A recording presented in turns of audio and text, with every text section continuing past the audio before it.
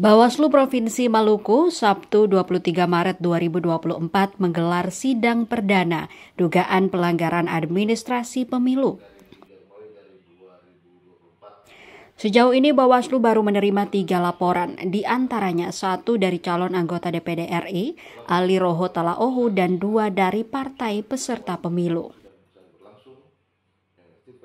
Sidang perdana dengan pihak pelapor calon anggota DPD RI Ali Roho Talaohu dan PPK Kecamatan Gorom sebagai pihak terlapor ini sempat molor dari jadwal persidangan karena menunggu kehadiran kedua pihak.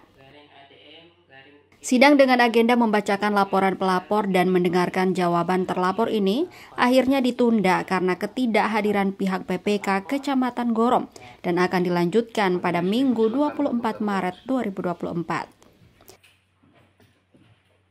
untuk di pasca penetapan uh, sebelum penetapannya itu sudah ada tiga laporan yang masuk. Uh, satu dari DPD dan dua dari partai politik. Dan pada hari ini uh, rencana ketiga laporan itu karena sudah terregister kami akan uh, melanjutkan dengan proses persidangan seperti itu. Ya, untuk agenda persidangan uh, persidangan ini karena persidangan yang pertama itu dengan agenda adalah terkait dengan pembacaan laporan dan jawaban terlapor.